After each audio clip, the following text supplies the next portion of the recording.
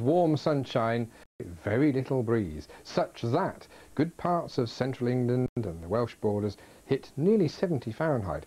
But there were large parts of the UK, Northern Ireland, good part of Scotland and also the Lake District where it was a miserable day. Not much wind, but a lot of cloud and drizzle. But the bits will be coldest tonight were those that were warmest by day. A touch of frost is possible on the sandy soils of southern England. Tomorrow dawns actually in a very similar way. There'll still be sunshine in the same areas, rather more limited I think, and still a great deal more cloud around the western fringes of England and Wales, Northern Ireland and Scotland. But it's going to be largely dry. We're still waiting for rain, which we will get. One thing you will notice, though, is a stronger wind. That strength of wind slowly develops over the next few days, but it'll be there for the east coast of England, bringing quite possibly persistent cloud from Lincolnshire northwards to the Scottish borders. Jump west, over the hills, over the Pennines and the Lake District should be much sunnier, as will be Lancashire during tomorrow.